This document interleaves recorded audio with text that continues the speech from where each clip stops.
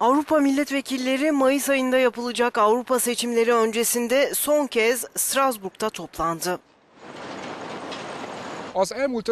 Son 5 yıl içinde Avrupa Parlamentosu üyeleri 22 22 bin defa oy kullandı. 970 yasa onaylandı. Gençlere geçmişte yaşananları nasıl hatırladıklarını sorduk.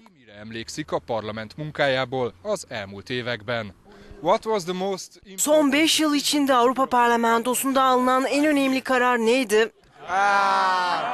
Good question. Very good question. Bu çok iyi bir soru.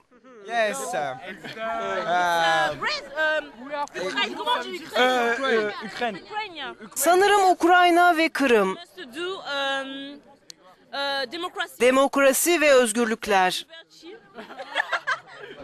Hans-Gert Pöttering 1979'dan bu yana Avrupa Parlamentosu üyesi. İlk seçimlerden bu yana hizmet eden Alman siyasetçi daha önce 2 yıl Avrupa Parlamentosu Başkanı olarak görev yaptı. 1979 Europe was divided. 1979 yılında Avrupa bölünmüş durumdaydı. Ülkem Almanya ikiye bölünmüştü. Şimdi bu durum giderildi ve Estonya, Litvanya, Letonya, Polonya, Çek Cumhuriyeti, Slovakya, Macaristan, Slovenya, Bulgaristan ve Romanya Avrupa Birliği üyesi. 1979 yılında bu hayal bile edilemezdi.